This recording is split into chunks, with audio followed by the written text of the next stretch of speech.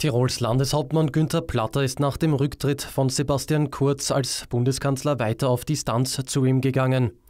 Obwohl Platter Kurz anfangs weiterhin im Amt sehen wollte, fand er nun, dass die Vorwürfe doch zu schwer wiegen würden. Das sagte er am Dienstag der Tiroler Tageszeitung. Er forderte, dass der neue Kanzler Alexander Schallenberg die Regierung ohne Einflussnahme nach seinen Vorstellungen führen kann und betonte, ein Schwarzer zu sein. Nach der Wahl von Kurz zum Clubobmann im Nationalrat sei es wichtig, dass künftig unabhängig von persönlichen Befindlichkeiten jede und jeder ihrer bzw. seiner Rolle nachkommt, so Platter. Für Schallenberg gelte nun, dass er die notwendigen Weichenstellungen trifft, um die Eigenständigkeit der Politik und seiner Regierung klar zu definieren, riet Platter dem erst am Montag angelobten Kanzler.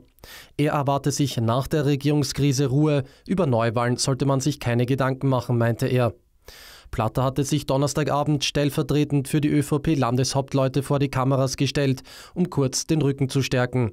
Es gebe aber schwerwiegende Vorwürfe, die man nicht wegwischen kann, beurteilte Platter die Sache nun anders. Für den Landeschef waren die am Freitag bekannt gewordenen Chats sowie das Abzeichnen einer Koalition aus Grünen, SPÖ, FPÖ und NEOS ausschlaggebend dafür, dass er für einen Rücktritt von Kurz als Bundeskanzler war. Platter hielt außerdem fest, dass er ein Schwarzer sei, er habe mit der türkisen Bundes-ÖVP schon immer andere Anschauungspunkte gehabt.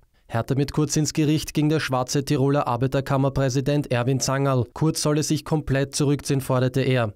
Es wird jetzt schon von einem Schattenkanzler Sebastian Kurz geredet, kritisierte Zangerl. Für einen Neuanfang in der ÖVP und in der Bundesregierung sollte alles absolut besenrein übergeben werden, meinte er.